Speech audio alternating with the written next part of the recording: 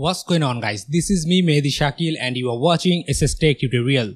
So guys, if you are looking for a tool so that you can hide your files and document and encrypt it on your Kali Linux machine, so you are in the right place. Because today in this video I am going to show you that how you can encrypt any of your secret files and data on your Kali Linux machine using a simple tool called Crypter. So further ado, let's get into the video.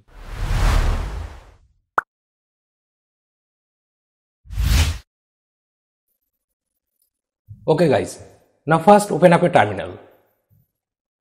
Now you need to download the crypter from GitHub. Type git clone on a terminal, then paste this URL and hit enter. You will get this URL and requirement command in my description box.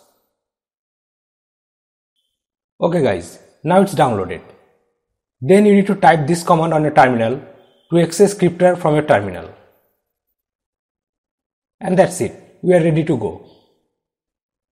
Now let's make a demo text file. Assume that this text file we want to encrypt using the crypter tool. Let's save this text file. Okay, now go to your terminal and type this command crypter encrypt and the file name or path you want to encrypt using this crypter tool. Then hit enter. Now it will ask you for a password. Then again confirm password. Okay guys, now our file is encrypted. Now let's use cat command to open this text.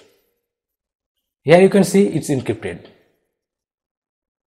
Okay, now this is the time to decrypt it. Let's decrypt this file.